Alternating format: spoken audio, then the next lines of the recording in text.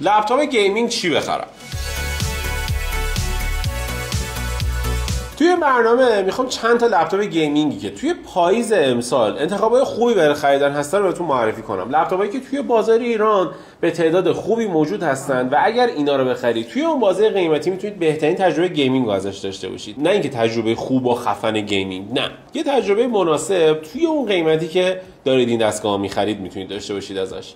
از اولین لپتاپ شروع می‌کنم لپتاپ HP Victus 15 که این فکر کنم ارزون ترین لپتاپ گیمینگ بازاره که با RTX 2050 و پردازنده 7535 H Ryzen 5 اومده توی بازار و با حدود قیمت 35 6 تومانی قابل خریدنه. اما بعد از این توی همین بازه قیمتی حول و حوش 35 6 تومن می‌تونید سراغ Acer Aspire 5 هم برید که لپتاپ اونقدر گیمینگی نیست ولی خب با توجه به اینکه دستگاهی بود که ما خودمونم بررسیش کرده بودیم و باش کار کرده بودیم چیزی بود که تقریبا می‌تونست کارا رو انجام بده و یه سری بازی رو برامون باز کنه. ولی خب می‌تونم بگم اون HP Victus قبلیه از این بهتر بود. اما لپتاپ بعدی لپتاپ Asus FA506 NC یه لپتاپی که حالا با شاسی قدیمی Asus اومده این شاسی سال 2021 فکر کنم چون 506 پرزنده AMD Ryzen 5 7535 HS داره که می‌تونم بگم پرزنده خوب و قابل قبوله. و غیر از اونم از RTX 3050 4 استفاده می‌کنه که 3050 4 کمه. ولی توی این قیمت انتخاب خوبی می‌تونه باشه و حالا نظر من اینه که یه خورده بیشتر پول بدید که 35 6 گیگ بخرید. ولی خب اگر که بودجهتون سقفش همینه همین هم یکی از انتخابای خوب توی این قیمته. اما اگه یه پله بریم بالاتر هولوهوچ 4 5 تومن بودجهمون رو بیشتر کنیم می‌رسیم به ایسر نیترو وی که یه جورایی ارزون ترین لپتاپ 40 50 توی بازار ایرانه. پرزنده کورای 5 13420 H داره به همراه انویدیا RTX 4050 که این 4050 بودنش خیلی مزیته 6 گیگ ویرم داره می‌تونه کلی از بازی ها رو برام اجرا کنه و در کنار اون از تکنولوژی DLSS پشتیبانی می‌کنه که این تکنولوژی DLSS به ما کمک می‌کنه که بازی های سنگین مثل Cyberpunk مثل Wukong مثل بازی اینجوری رو بتونیم با فریم بالاتری به کمک هوش مصنوعی توی لپتاپ اجرا کنیم که خب خیلی ویژگی مهمیه. و به خاطر همین من لپتاپ گیمینگ بخوام به کسی توصیه کنم بهش میگم که اگر که می‌تونی یه خورده بیشتر پول بذار و 40 50 بالا بخر. البته یه نکته وجود داره. ما یه برنامه رفتیم در مورد تکنولوژی جدید FSR three ی که روی حتی گرافیک RTX 2050 هم کار می‌کنه. و خب اون باز فریم جنریشن داره و می‌تونه کمک کنه که تجربه بهتری داشته باشید. ولی مشکل اون اینه که یه خورده همه بازی ها ازش پشتیبانی نمی‌کنن. ولی خب DLSS رو تقریبا همه بازی ها و حالا برنامه‌هایی که لازم دارن پشتیبانی می‌کنن و سر همین قضیه 40 50 و بیشتر توصیه می‌کنن نسبت به حالا گرافیکایی که یه خورده ارزون ترن اما توی همین بازه قیمتی 46 تومانی یه دونه گزینه دیگه هم داریم. HP ویکتس 15 با 4050 این لپتاپ ما همین اخیرا بررسی کردیم. لپتاپی خوبی بود به نسبت. پرزنده رایزن 5 8645 HS داشت که پرزنده خوبیه و عملکرد پردازشش هم توی این دستگاه ما تست گرفتیم خوب بود. ولی 4050 مثل همون نیستروویه 4050 که توی این دستگاه وجود داره یه خورده محدود شده و سر همین قضیه شاید یه سری بازی‌ها رو به سختی براتون اجرا کنه که وقت همون اگر می‌تونید بودجهتون رو بیشتر کنید. برید سراغ انتخابایی که می‌خواین. الان بهتون بگم بهتره. اما سراغ دستگاه بعدی یعنی Lenovo LOQ با پردازنده 12450 HX و RTX 4050 این دستگاه یه خورده الان موجودیش توی بازار کم شده ولی اگه بگردید می‌تونید پیدا کنید. نکته اینه که پردازنده i5 قوی داره و در کنار 4050 که می‌تونه با تمام توان براتون کار کنه می‌تونه تجربه گیمینگ خوبی بهتون بده که به نظر من یکی از انتخابای خوب می‌تونه براتون باشه. در کنار همه اینا این دستگاه دستگاهی که صفحه نمایشی داره که 100 درصد sRGB دقت رنگشه و تجربه گیمینگی که می‌تونید توی این دستگاه تجربه کنید با تقریبا تمام دستگاهی که تا الان بهتون گفتم متفاوته و خیلی بهتر از اوناست.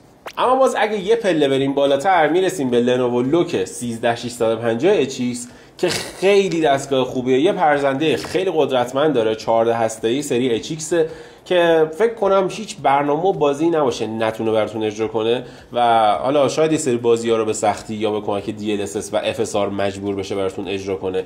ولی حداقلش اینه مزیتش اینه که این دستگاه با خیال راحت چند سال می‌تونه براتون بازی های جدید اجرا کنه. و آدم دیگه استرس و نگرانی نداره که این دستگاهی که می‌خوام بخرم یه وقت خدایی نکرده بعدا برای من کم بیاد مشکل ایجاد کنه.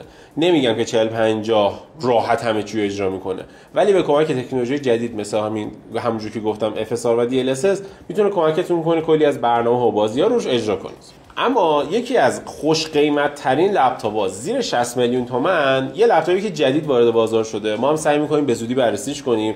Acer Nitro با Ryzen 7 7735 HS و RTX 4060 این فکر کنم ارزون ترین لپتاپ بازار با RTX 4060 باشه. و RTX 4060 خیلی یعنی حتی با وات پایین هم می‌تونه بهتون کمک کنه که بازیاتون رو بهتر اجرا کنید. چرا؟ چون دو گیگ VRAM بیشتری داره. الان اینجا می‌خوام یه توضیح خیلی مختصر در یه بحرانی بگم بهتون. Nvidia کلا دوست نداره انگار که از 8 گیگ VRAM عبور کنه و تازه نسل بعدیش هم میگن 8 گیگ 50 60 و خب دلیل این قضیه چیه؟ اینه که ببینید وقتی که ویندوز رو دارید اجرا می‌کنید ویندوز خودش به خودی خود بین دو تا سه گیگ از گرافیکتون رو مصرف می‌کنه. یعنی اگر که لپتاپ می‌خرید با گرافیک چهار عملا دو گیگش در دسترستونه. با گرافیک 6 می‌خرید عملا دو گیگش در دسترستونه. وقتی با گرافیک 8 می‌گیرید دو تا سه گیگش درگیر ویندوز و یه سری برنامه های دیگه است. و سر همین قضیه وقتی که شما میرید 40 60 می‌خرید عملکردش چون دو گیگ VRAM بیشتری داره توی بازی براتون خیلی بهتره نسبت به اون 40 50 ها و حالا 30 50 که 6 گیگه سر همین قضیه من توصیه بهتون اینه اگر که می‌تونید این دستگاه بخرید دستگاهی که 40 60 بازیایی که حالا triple A بهش میگن مثل Last of Us مثل Cyberpunk مثل Wukong اینا Elden Ring اینا بازی هستن که گرافیک خیلی سنگینی دارن و نیاز پردازش داخل VRAM دارن. که VRAM این دستگاه چون 8 می‌تونه براتون بهتر اجرا کنه. ولی نکته دقت کنید که با این قیمت در صفحه نمایش این دستگاه زیاد تعریفی نیست و دقت رنگ پایینی داره. اما یه پله که بریم بالاتر یه پله بزرگ بریم بالاتر حدودا مثلا 8 9 تومن بریم بالا می‌رسیم به لنوو لوک 13650 HX با 4060 این دستگاه یکی از بهترین دستگاه بازاره چون هم صفحه نمایش خیلی خوبی داره هم کیفیت ساخت خیلی خوبی داره هم کولینگ خیلی قوی داره و چون چهل شسته می‌تونه خیلی کمک کنه بهتون که بازی ها رو بهتر اجرا کنید. کل داستانهایی که در مورد لپتاپ قبلی گفتم اینجا هم شامل میشه و من کلا توصیه بهتون این سری چهل بخرید همونجور که گفتم قبلا. حالا بین 40 50 و 40 60 اگه بودجهتون می‌رسه برید سراغ 40 60 دیگه تقریبا می‌تونم بگم تا دو سه سال آینده می‌تونه خیالتون راحت باشه که بدون مشکل هر بازی که می‌خواید روی دستگاهتون اجرا کنید. اما یه کوچولو بالاتر که بریم می‌رسیم به Asus TUF که توان گرافیکی Asus TUF یه کوچولو این FX 507 VV بالاتر از اون Lenovo LOQ یه کوچولو ولی CPU ضعیفتره به مراتب هم ضعیفتره. Asus CPU ده هسته استفاده کرده توی این دستگاه و Lenovo توی Lenovo LOQ از CPU 14 هسته استفاده کرده. سر همین قضیه اتفاقی که پیش میاد اینه که ممکنه توی سری بازیایی که دنبال این هستید که مثلا e-sport باشه مثل کانتر و مثل Valorant و فلان و اینا Lenovo که بهتر performance بده بهتون چون CPU اون بهتره. ولی خب cooling لحاظ گرافیکی توی این Asus TUF ه می‌تونه فضای کار بیشتری داشته باشه و شاید توی یک سری از بازی‌ها بتونه این Asus TUF ه عملکرد بهتری نشون بده. و کلا یه سری هستن که میگن ما مثلا Asus دوست داریم ما Lenovo دوست داریم. این برای کسایی که Asus دوست دارن اون Lenovo که قبل این گفتم بهتون برای کسایی که Lenovo دوست دارن خوبه. اما دستگاه بعدی FX 507 VI که خب همون ایسوستافیه که الان بهتون گفتم 40 60 ولی با 40 70 با توجه به اینکه من خودم اون اول که 40 70 اومده بود زیاد موافقش نبودم. ولی نکته چیه؟ نکته اینه که این 40 70 یک کوچولو وقتی تفاوت قیمت داشته باشه ارزش خریدش میره بالا. الان حدودا ما 5 6 میلیون تفاوت قیمت داریم. با نسخه 40 60 همین ایسوستافه و به خاطر همون من می‌تونم بهتون راحت توصیه کنم که به جای اون 40 60 برید این 40 70 رو بخرید. و با خیال راحت هم ازش استفاده کنید که خب 5 6 تومن میارزه کمتر از 10 درصد تفاوت قیمتشه. و می‌دونیم که بیشتر از 10 درصد هم عمل کردش فرق داره. پس 40 70 تو اینجا میارزه. اما یه پله که بریم بالاتر می‌رسیم به HP ویکتس با پرزنده 14700 HX و RTX 4070 این دستگاهی که اینجاست cooling نسبتا خوبی داره قدرت پردازش خوبی داره و من می‌تونم بهتون توصیه کنم که خرید بکنید دستگاهو با توجه به اینکه پردازندش پردازنده نسل 14 و توانایی پردازش خیلی بالایی داره می‌تونه خیلی از بازی ها مثل Valorant و CS2 هم به خوبی براتون اجرا کنه و بدون دردسر باش بازی کنید. این 40 70 که روی این دستگاه وجود داره توان حرارتی خوبی داره به نسبت و می‌تونه با توان بالایی کار کنه. اما اون Asus TUF ه توان بهتری داشت و می‌تونست بهتر کار کنه. اون 140 وات بود 120 واته. و توی تستای ما همون ایسوس تافه 4070 عملکردش یه کوچولو توی GPU بهتر بود. ولی خب CPU این دستگاه اچ پی Victus حدوداً 80 درصد یعنی نزدیکای یه چیزی تو مایه‌های دو برابر از اون ایسوس TUF ه قوی تره اما توی همین بازه قیمتی می‌تونیم دوباره بریم سراغ ایسوس TUF با پردازنده 8945 HS و RTX 4070 یه گزینه داریم که هول و 89 تومن پولشه. پردازنده Ryzen 9 داره و RTX 4070 140 وات. که خب این دستگاه یکی از دستگاه خوب ما. اخیرا دوباره اینو بررسی کردیم باش کار کردیم و می‌تونم بگم یکی از دستگاهایی هستش که راحت میشه تاییدش کرد و راحت می‌تونید بخرید. بدون درصد چند سال ازش استفاده کنید و باش گیم بزنید. دستگاه بعدی که می‌خوام بهتون بگم ایسر هلیوس نو 16 که با همین حدود قیمت هم می‌تونید 13900 HX رو بخرید هم می‌تونید 14900 HX رو بخرید. من توصیهم بهتون اینه که اونی که پرزنده 14900 HX داره رو بخرید یعنی نسخه 2024 شو.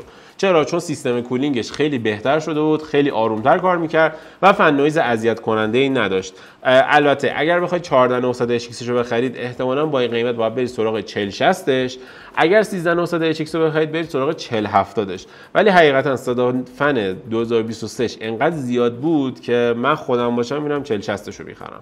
اما توی این قیمت یه گزینه دیگه هم داریم به نام Asus TUF FX 607 JVR که این نسخه شرق آسیای ایسوس تافه که پرزنده 4900 HX داره با RTX 4060 که به نظرم یکی از بهترین دستگاهی تو این قیمته چون صفحه 2.5 160 هرتز 16 اینچی داره. 100 درصد دقت رنگ sRGB داره که خوراک بازی کردنه و گرافیکش و سی پی هم تا جایی که ما تست کردیم می‌تونه جز بهترینا عمل کنه و بدون درصد بتونه راحت براتون بازی ها رو اجرا کنه. اما اگر که کسی دنبال ایسوس TUF نباشه و بخواد ایسوس ROG بخره چی؟ می‌تونه بره سراغ Asus G614 Ji که یه دستگاهی که 13650 HX داره RTX 4070 140 وات داره که خب خیلی خوبه. ما باید یه سری چیزا رو فدا کنیم که به ROG برسیم ولی خب یه سری چیزا رو هم به دست میاریم. مثل چی؟ مثل سیستم cooling بهتر روی مخصوصا CPU مثل RTX 4060 که الان تبدیل 4070 شده تو این دستگاه. دارم نسبت به اون TUF ی که الان بهتون گفتم میگم. و صفحه 2.5K 165 هرتزی که شده FHD Plus 165 هرتز این صفحه نمایش و CPU رو اگر که فدا کنیم می‌تونیم به GPU کیفیت ساخت بهتر ظاهر gaming و cooling بهتر برسیم که توی ROG ه حالا انتخاب با شماست. شما ایسوس TUF دوست دارید یا ایسوس ROG دوست دارید؟ این پایین برام تو کامنت بنویسید. اما اگه دنبال این هستی که با مثلا یه وزن خیلی کم یه لپتاپ خیلی جمع و جور و اینا بشینی game بزنی بازی کنی توی مایه های 100 تومن 104 5 تومن 102 تومن می‌تونی بری سراغ ایسوس TUF A14 که ما هم اخیرا بررسیش کردیم. دستگاه خیلی جذابیه. توی game هم عملکرد نسبتا خوبی رو به خودش نشون داده و کلا خوراک کسیه که می‌خواد بره بیرون با لپتاپش بازی کنه کلی کار انجام بده و یکی از بهترین انتخاباست ما هم بررسیش کردیم. لینک این لپتاپایی که ما همشون هم تقریبا بررسی کردیم و من این پایین براتون می‌ذارم. توی کانال یوتیوب حتما این چک کنید. توی بخش توضیحات لینک همشون رو علی آقا براتون می‌ذاره. اما بریم سراغ لپتاپ بعدی یعنی لنوو لژیون 5 2024 که برزنده 14900 HX داره که 24 هسته است و می‌تونه تقریبا همه چی برامون اجرا کنه بدون دردسر به همراه RTX 4070 که با تمام توان کار می‌کنه برامون. این لپتاپ خیلی لپتاپ خوبیه واقعا جذاب صفحش هم 2.5K 165 هرتز که می‌تونه راحت همه برنامه ها بازی ها رو براتون نشون بده. 500 نیست روشنایی داره و یکی از بهترین لپتاپ های gaming ی که الان توی بازار وجود داره و شما می‌تونید تهیه کنید بخرید. این دستگاه ما هنوز بررسیش نکردیم ولی به زودی بررسیش می‌کنیم. subscribe کنید که برنامه بررسی اینو از دست ندید. می‌تونم بگم که یکی از بهترین و واقعا جذاب ترین دستگاهی که همین الان توی بازار وجود داره است یه دونه Legion Pro 5 هم از این وجود داره که با یه خورده اختلاف قیمت توی دو نسخه وجود داره 14650 HX و نسخه 4900 HX که 4900 یه خورده گرونتره 4650 یه خورده ارزون تره که هر سه این دستگاه ها دستگاه فوق العاده و جذابی هم واسه خریدن. اما یه پله بریم بالاتر می‌رسیم به ایسوس ROG G614 JIR این R یعنی refresh توی ایسوس. که منظورش چیه؟ که یعنی اینکه این لپتاپ پردازنده نسل 14 داره با پردازنده 14900 HX و RTX 4070 ولی یه ایراد خیلی گنده داره. اونم اینه که صفحش FHD Plus 165 هرتز که سر همین قضیه 135 تومن خرج کردن واسه اینو زیاد توصیه نمی‌کنم. مگه اینکه تو خونه مانیتور خوب داشته باشید و با مانیتور کار کنید. ولی من اینو مثلا اون Legion ی که قبل این بهتون گفتم بیشتر توصیه می‌کنم تا این. چون که واقعا FHD Plus منطقی نیست روی یه همچین قیمتی. اما اگه یه پله بریم بالاتر هم می‌تونیم رممون رو ببریم بالا 32 بکنیم از 16 هم می‌تونیم صفحه رو از FHD Plus بکنیم QHD Plus و صفحه لپتاپ هم 18 اینچ کنیم که برسیم به Asus G814 JIR که یه لپتاپ 18 اینچیه مشخصاتش عین همون لپتاپ قبلی است 4900 HX با 4070 ولی خب میگم صفحش بهتره بزرگتره و یه کوچولو می‌تونه cooling ش بهتر باشه و رمش هم که بیشتره 32 البته رم این دستگاه ها رو تا 96 گیگ می‌تونید ارتقا بدید که خب خیلی چیز خوبیه. تقریبا هر دستگاهی که با پردازنده HX تا الان بهتون معرفی کردم رمش تا 96 گیگابایت قابل ارتقاست. البته واسه gaming من توصیهم بهتون اینه که رم دستگاهتون رو بین 16 تا 32 قرار بدید که 32 بهترین حالته. اما یه پله دیگه باز بریم بالا که من زیاد توصیه نمی کنم بیشتر از 140 تومن بیاد هزینه کنید برای لپتاپ gaming چون واقعا سیستم و دسکتاپ بهتره عملکرد بهتری به اون نشون میده. می‌تونیم بریم سراغ لپتاپ 4080 مثلا چی؟ مثلا Legion Pro 7 که من الان جلوم دارم می‌بینم. 32 گیگابایت رم داره RTX 4080 12 گیگ داره. این دستگاه یه جورایی یکی از ارزون ترین و خوش قیمت ترین و جذاب ترین دستگاه های با RTX 4080 خیلی دستگاه دوست داشتنیه و نکتهش اینه که قیمتش امسال بهتر شده نسبت به سال گذشته. دلیلش اینه که پردازنده 13900 HX 14900 نیست. چون که نسخه پارسال بوده ارزون تر شده. نکته هم که داره اینه که پردازنده 13900 HX با 4900 HX اونقدر تفاوت performance ندارن با هم دیگه. پس می‌تونید برید سراغ همین Legion Pro 7 4080 و مثلا 14900 نرید بگیرید. الکی هزینه اضافه بکنید. فکر کنم 10 15 تومن فرقشه. اما برای اونایی که می‌خوان دیگه تهشو بخرن یه دونه Legion Pro 7 هست که RTX 4090 32 گیگابایت رم داره 16 گیگ VRAM RTX 4090 و دستگاه خیلی جذابیه. قیمتش 215 میلیون تومان حدوداً که 215 تومن من باشم پول لپتاپ نمیدم خدا وکیلی. یه دونه کیس یه دسکتاپ gaming می‌تونی بخری با یه دونه لپتاپ gaming با این پول. باز اگر کسی دنبال این باشه بیشتر هزینه کنه. می‌تونه 233 تومن پول بده بره Scar 16 بخره.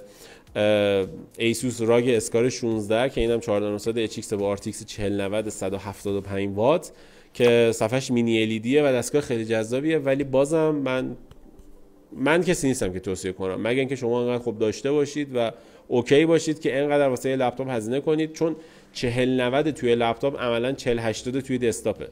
و performance ش تازه از اونم پایین تره و اونقدر بهتون توصیه نمی‌کنم 40 90 لپتاپ بخرید. دیگه ته تهش برید سراغ 40 80 ولی خب اینا هم بهتون میگم که اگر کسی دنبال هزینه انقدی بود بدونه چی بخره. باز یه پله از این بالاتر هم اسکار 18 هست که اسکار 18 هم. 4900 HX داره با RTX 4090 صفحه 18 اینچی مینی LED داره. قیمتش حدودا 300 میلیون تومنه و واقعا اگر که 300 میلیون تومن می‌خوای پول لپتاپ بدی دست ما هم بگیر. ما هم یه جای بند کن. واقعا دم شما گرم که انقدر خیلی گرونه. 300 میلیون پول لپتاپ واقعا زیاده.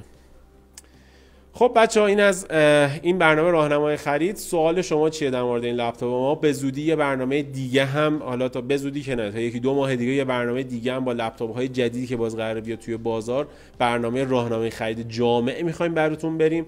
حتما subscribe کنید که اون برنامه رو از دست ندید. ولی این برنامه بود که برای کسی که می‌خواد توی این پاییز بره لپتاپ gaming بخره بدونه چی بخره. بدونه که چی رو باید بخره و چی می‌تونه گزینه خوبی باشه براش. از قیمت 35 تومن شروع کردیم تا 300 تومن رفتیم بالا. بالاتر هم می‌شد رفت ولی خب دیگه نرفتیم.